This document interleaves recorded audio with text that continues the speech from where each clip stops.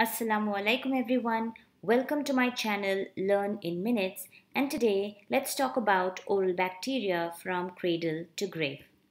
The world of microorganisms is a mysterious one. The human body harbors 10 times more bacterial cells than the human cells, with hundreds of times more bacterial genes than human genes.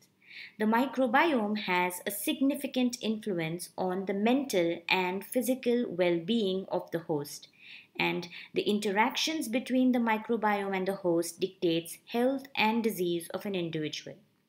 The oral cavity is no exception. It harbors many different species of bacteria, providing a nutrition rich, humid environment. The association of microorganisms and the oral cavity begins right from the moment of birth of an individual. The earliest microbiota to colonize the mouth of the newborn infant is derived from the mother's genital tract, oral cavity, and skin. Since the newborn has no teeth, the earliest microbial colonizers will be those that are able to adhere to the available surfaces, that is, those lined by epithelium. Within hours after birth, the sterile oral cavity becomes colonized by low numbers of facultative and aerobic bacteria. Streptococcus salivarius becomes established within one day of birth, and by second day, anaerobic bacteria come into action. Within two weeks, a mature microbiota is established. Shortly after teeth eruption, more than 700 different species such as Streptococcus sanguis, Streptococcus mutans preferentially colonize tooth surfaces and after 2 years an entire microflora which is perfectly established is formed with greater than 10 to the power of 14 microorganisms of various different types.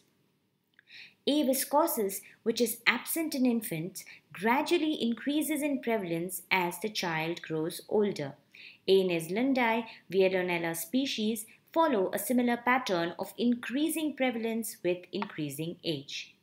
Also, the proportion of facultative anaerobes and strict anaerobes increases in adolescence and adulthood.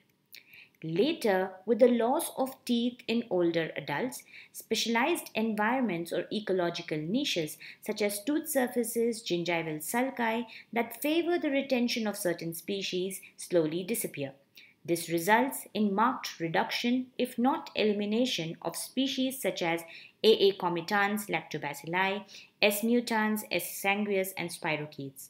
By contrast, species that do not depend on the presence of teeth, example, Candida, continue to thrive.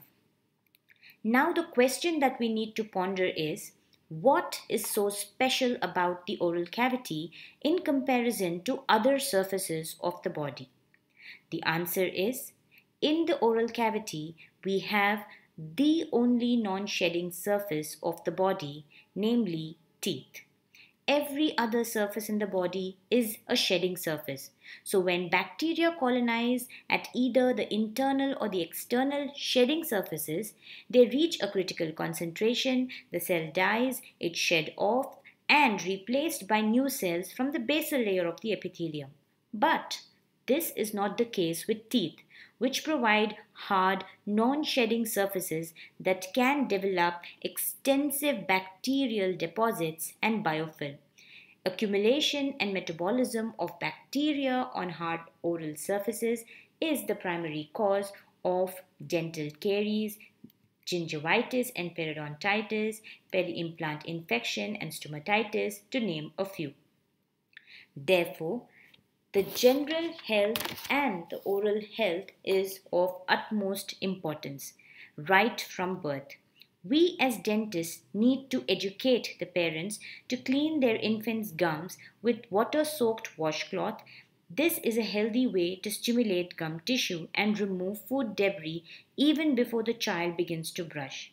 And when the teeth begin to erupt, use of a finger toothbrush should be recommended.